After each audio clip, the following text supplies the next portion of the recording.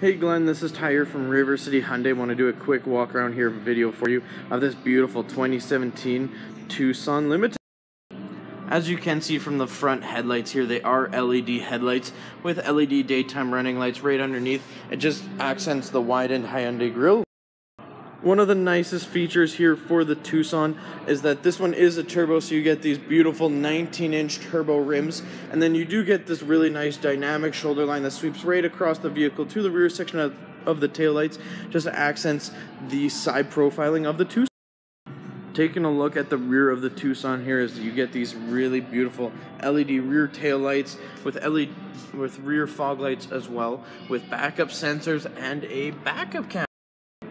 And to quickly show you, you do get a power tailgate um, with the turbo badging, and then you do get a little button here that you can press to close.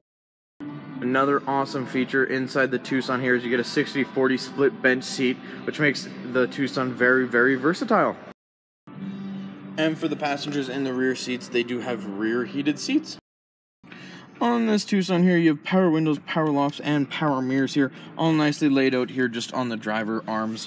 And then on the right behind the left hand side of the steering wheel you have your blind spot detection your in cluster display for the brightness and then your traction control with the tailgate opener and then as you can see in the mirror there you do get the blind spot detection nicely laid out there for you which will light up if someone is in your blind spot and now for my favorite part here, you do have a beautiful leather wrap steering wheel, which makes it very comfortable drive, which also is heated um, for very, very nice driving. And then you have your Bluetooth connections just laid out on the left-hand side of it, and your cruise control buttons on the right-hand.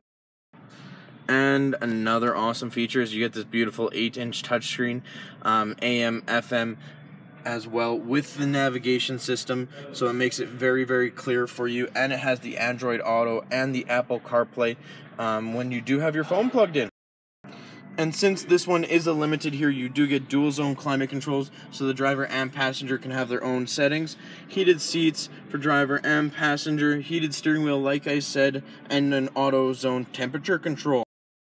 And on just right beside the leather wrap steering shift knob there, you have a drive mode select, which you can switch it from an eco to a sport to a normal drive mode, and then you have your lock, differential lock, you, the ability to turn off the parking sensors, and the downhill ascent button for when you are in very hilly areas.